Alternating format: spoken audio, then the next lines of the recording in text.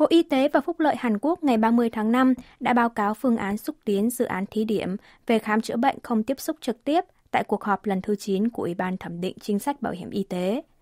Khám chữa bệnh bằng hình thức không tiếp xúc, tức bác sĩ không cần gặp trực tiếp bệnh nhân mà tư vấn và kê thuốc qua điện thoại hoặc cuộc gọi video, được tiến hành tập trung vào các bệnh nhân tái khám, từng được điều trị trực tiếp tại các cơ sở y tế cấp phòng khám.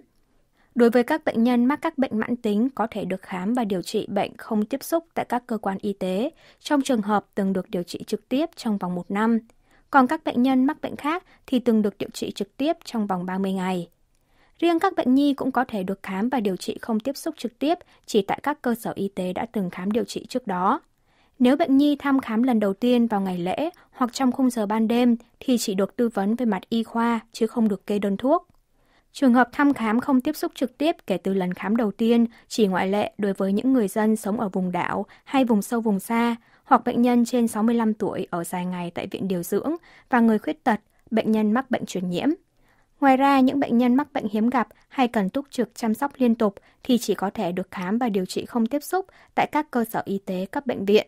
Liên quan đến vấn đề gây tranh cãi về việc gửi thuốc tận nhà cho bệnh nhân thì vẫn theo kế hoạch ban đầu là bệnh nhân phải trực tiếp tới hiệu thuốc chỉ định để nhận thuốc. Tuy nhiên, trong trường hợp ngoại lệ thì bệnh nhân có thể trao đổi với dược sĩ để nhận thuốc tại nhà.